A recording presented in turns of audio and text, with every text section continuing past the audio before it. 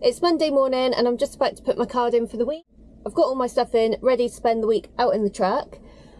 I've got a bit of a different job today.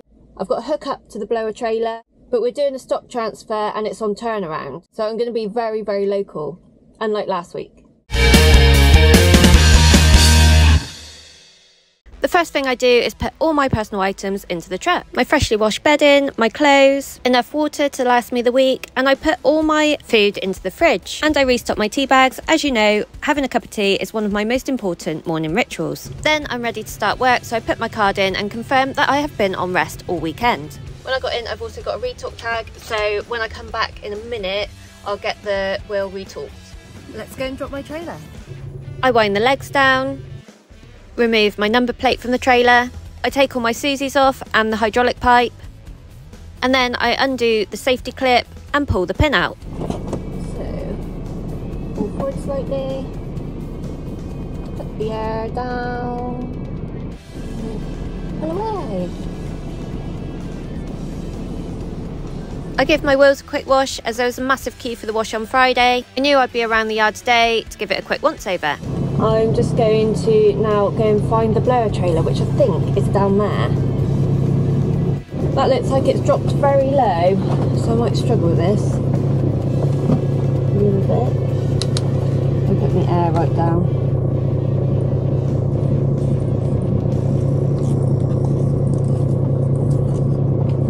I always get out and give it a little check just to make sure the height is right and just in case I've missed something that I should have seen. I am clear, but has been dropped very low. Then I give two pulls forwards just to make sure it's definitely in. The first thing I do is put the safety clip on the kingpin. My arms are only just long enough to do this. Then I screw on the hydraulic pipe and plug in all my Susies. Whoever had this trailer last left a big dollop of fifth wheel grease on the hydraulic connection and now it is all over my gloves. Then I can wind the legs up and stow the winder upper away. And last but not least, I can put my number plate on. Now that I'm hitched up, I can start my daily checks. And even though I've been walking around the trailer as I've been hitching up and looking out for any big reasons as to why I shouldn't take the trailer before it's fully hitched up, this is my final big check around the trailer and the truck itself. Luckily for me, everything seems in order this morning.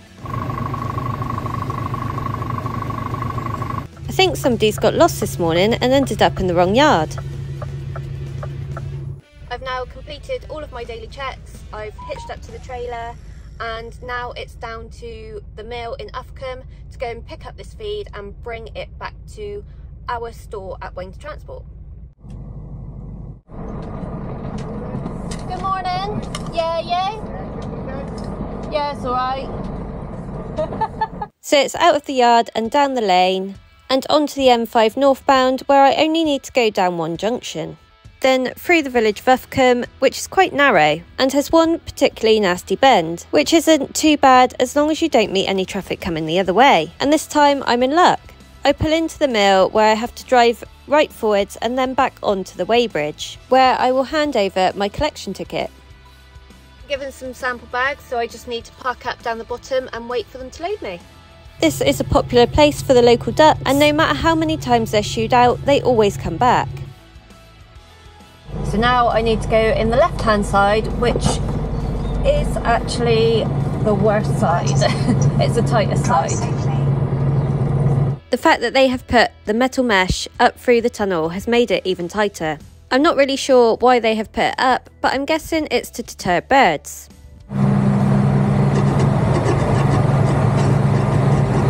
Mirrors are touching the stuff both sides. The chap on the left of the screen will tell me when to stop any second now. Yeah. Now I just have to wait for his instructions as he loads me out the bins.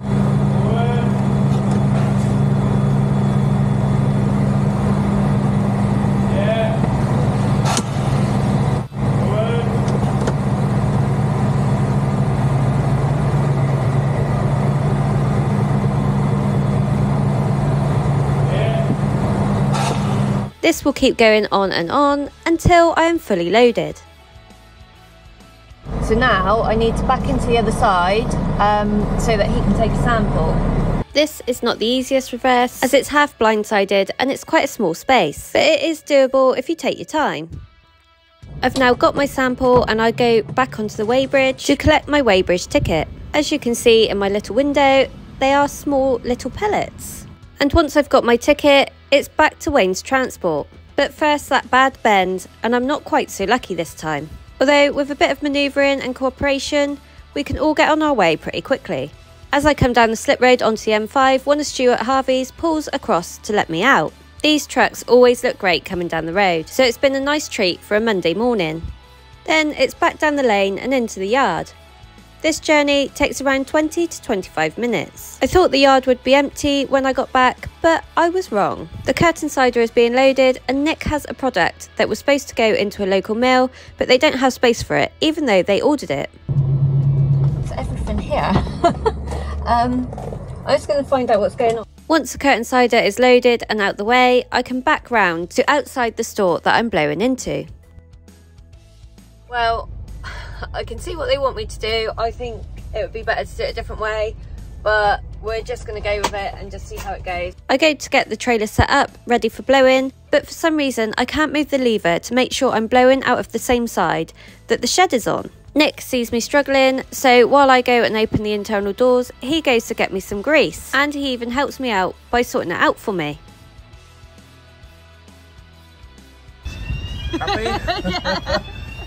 Then Yabo gets a forklift, I move back a little bit so that I'm in the correct position, and we set up all the pipes and tie them to the forklift because we want to blow the product over the wall. It's a bit of trial and error to get in the right position, but I know that the pipes need to be tied on really tight. If it is not, once I start blowing, the pipes could flail around everywhere. And we want to have some control of where the product lands in the store. It takes us a little while to get it all set up, but once we do, we secure it really tight and then it's time to start blowing to see if our plan works. And so far so good, but we still have 26 tonnes to blow off, which will take around 2 hours. As the pile gets bigger, we realise that we need to angle the pipe more up in the air. Looking at the windows on the trailer, I start to see a little bit of progress. With that, another truck comes in with the same product. Up until today, all of this product had been tipped by a normal bulker, but as the store is quite full now, we need to start filling the space more efficiently. And finally, my trailer is empty, so I turn everything back to the start position and turn that horrible noisy donkey engine off. Yeah, if I leave that here, the pipes, and then if I need them later, then they're out, ready, aren't they? Oh, you've got to take that one off as well. It's nice getting someone to do something for you, isn't it? I'm taking with me, I think. Sticking in the side. I'll take, I'll take, I'll stick that one in the side locker just so I don't lose it. Right, I'll be out of the way. That's the first load done, and now I'm off to get the second load. I've got hopefully four loads to do today, so I'm hoping to get back there and get loaded up as quick as I did last time. I fill out my paperwork quickly for my next load, and I also remember that I need a retorque. I filled out my retorque tag and it is for front offside. I get out and take off all my nut covers while I'm waiting.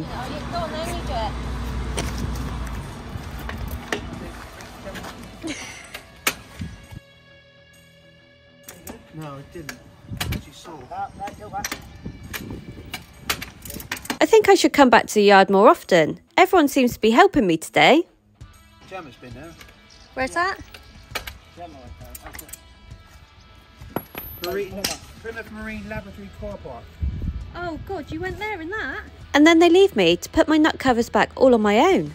How am I going to cope, especially when I've got used to people helping me in the last couple of hours? And then there's no time to hang about, it's back to the mill at Uffculme, back around the roundabout and down the slip road, heading north one junction on the M5. Just off of the motorway roundabout at Tiverton, there is a garden centre where my mum and dad like to go and have lunch occasionally, now that they're retired. This time I'm not so lucky on the corner down to the mill, and it can be quite frustrating sometimes when car drivers don't understand how much room you need to manoeuvre around a corner. But to be fair, I haven't got the worst job. There's an Arctic behind me as well. And as the cars get impatient with me, they're only moving themselves in the way of the Arctic behind me. It's one of those occasions where you need to look really calm on the outside, even though you are raging inside. With a little patience, I get through and it's down to the mill. There's one of ours on the weighbridge already, and he is getting ready to be sampled, taking product into the mill. And that's that Arctic curtain sider that was behind me, just about coming through. And he's got a Moffett on the back. I get myself weighed in, and I'm instructed to wait down the bottom.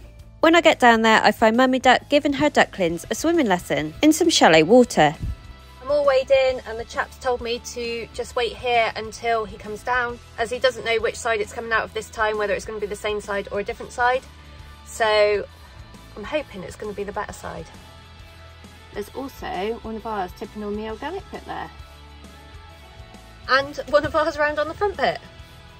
This time I'm called through on the right hand side, which is the better side.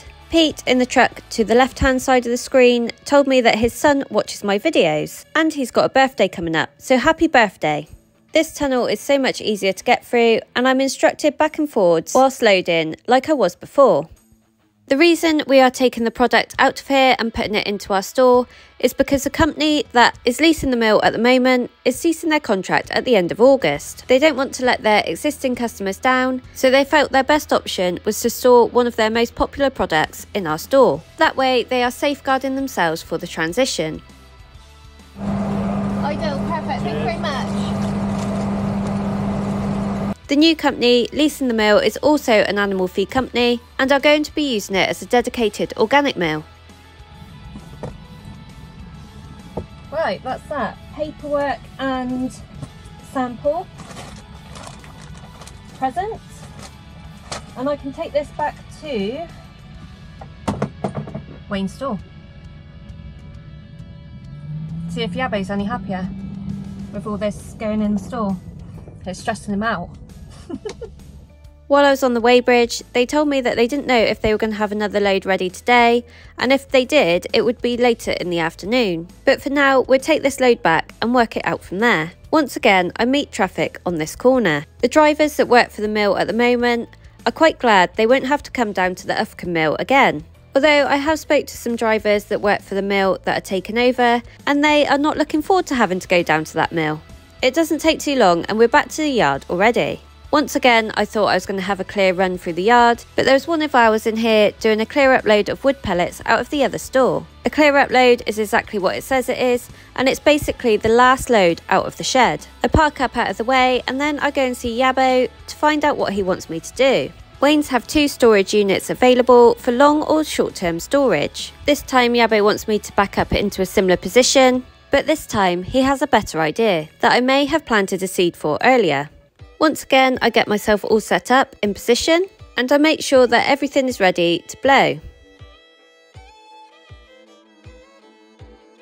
So Yabo's new idea is to strap the pipes to the end of the handler and to boom it right into the shed. This means nearly using all my pipes. To me, this is looking and feeling a lot better. We have a little discussion and we decide to use my last remaining pipe and push the handler further into the shed. This setup doesn't actually take too long at all, and then we can start blowing.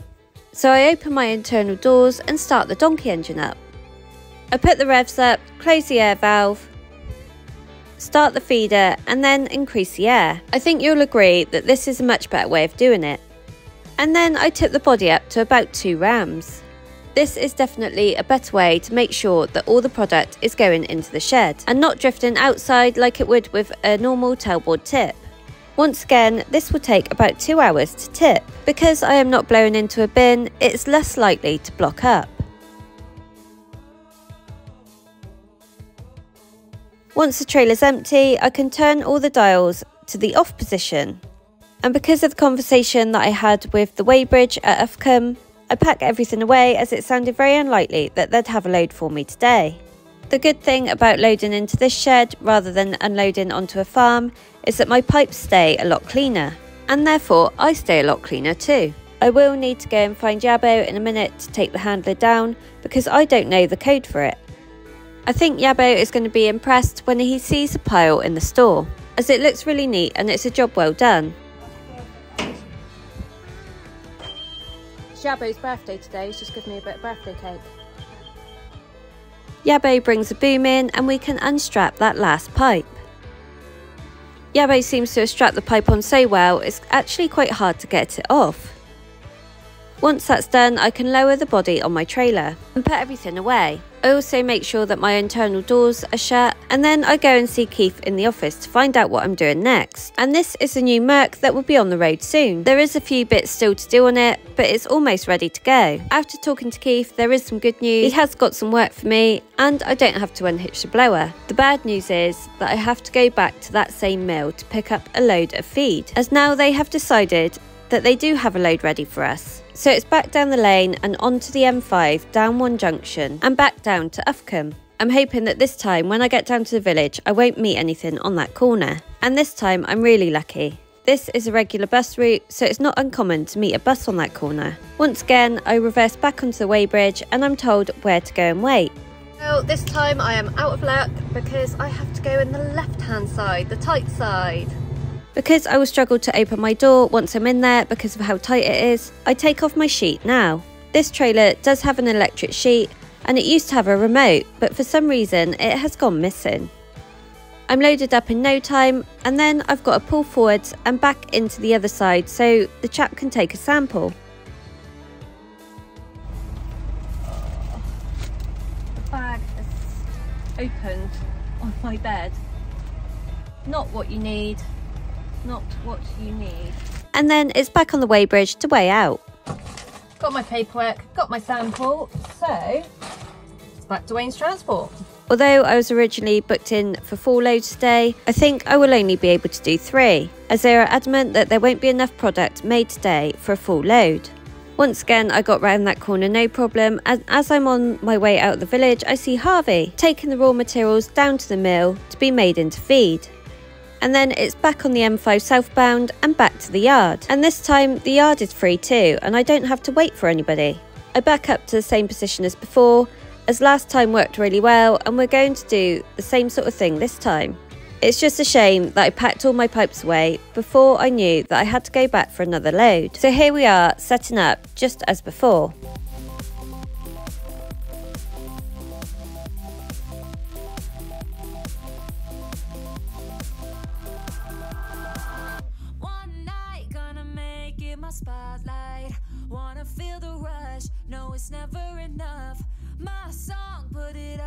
The stereo. I wanna feel the beat, feel it under me. DJ, DJ, DJ, turn it up and let me lose control. Oh, it's the weekend, weekend, weekend, and I'm on The only difference with this load compared to the last load is we've repositioned the handler so it is blowing into the corner. Neil comes back to change one of his lights on his trailer and before we know it, we've got just under 5 tonne of product left on the trailer.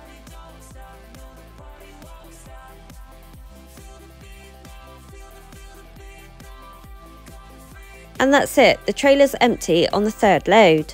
But just before I pack away, I go up to the office and just check that there hasn't been a miscommunication and there is actually a fourth load. But they ring the company and confirm that I don't need to go back, so I do pack everything away. Yabo comes out to help me pack away, and all in all, today has been a good day. I've had help from quite a few people, and I've even had two cups of coffee made for me. I think I should be around the yard more often. I won't need the blower trailer for the work I have set me for tomorrow, so I find a space up the yard in the trailer lineup. Well, I'm quite glad that's over because it's not the best job in the world to do. However, today hasn't been as bad as I thought it was going to be. I take my number plate off, I wind down my legs, I unplug all my Susies and unscrew my hydraulic pipe, and then remove the clip and pull the kingpin. Then I pull forwards a little bit, drop the air on the back, and then I can pull away. I find my trailer at the yard that I dropped this morning, and although you can't see it, it is definitely behind me. As always, I get out to check the fifth wheel height, and then I can reverse back onto the trailer. I do up the clip, I connect the hydraulic pipe, and all the Susies. I've pumped the brake to reduce the air, but the red line on this one always seems to be a little bit stubborn. But it will go on. Then I wind the legs up. I've never realised this until I watched the video back this time, but it looks like I'm rowing a boat. Then I put my number plate back on in the foliage. And we're done. As I said earlier, there was a massive queue for the wash on Friday, but I knew I was going to be back today, so I decided to leave it and wash today instead. We have one wash for 20 drivers, and we all come back on a Friday, so sometimes it's quite difficult to get on the wash if we all come back at the same time. And after about an hour and a half, she's clean. It is such a good feeling to have a clean truck, especially the next day when you're driving down the road and you know that she's sparkly and it's going to be sunny tomorrow as well. So I am very, very pleased. I've just done a printout for today, that I know what hours I've done and I've done everything right. So my drive time today, because I've been so local, two hours 40 minutes. I don't actually think I've done that little driving since I was stuck on Nash Road in Manchester for 24 hours.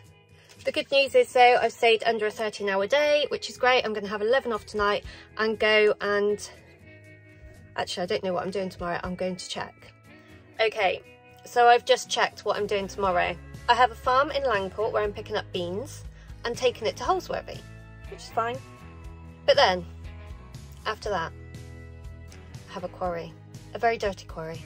And I've just cleaned my truck and I got really excited. And now it's probably all going to be ruined. It's nearly seven o'clock, so I make that tea time. And I have a lovely salad again that I'm going to flick everywhere. Not on purpose.